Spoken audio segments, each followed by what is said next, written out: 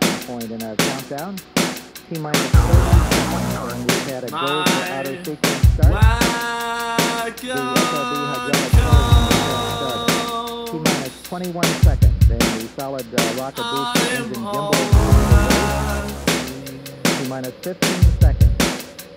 Counting T down minus 10,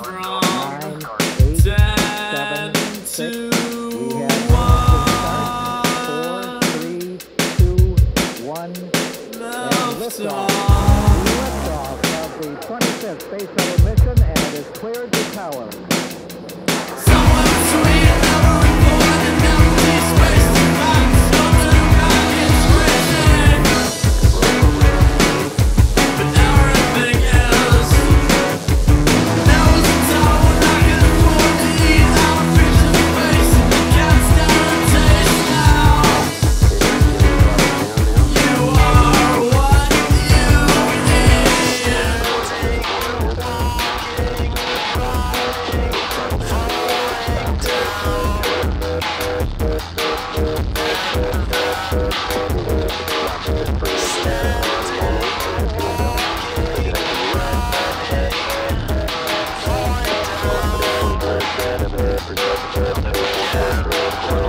Okay,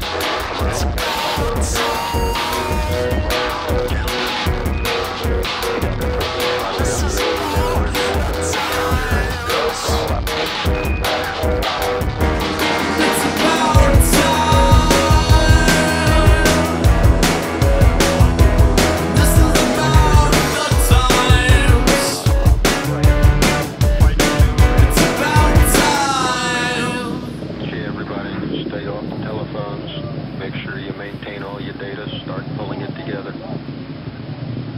Copy.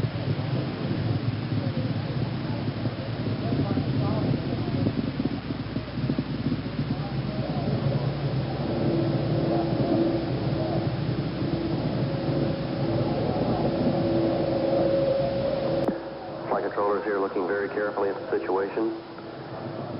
Obviously a major malfunction.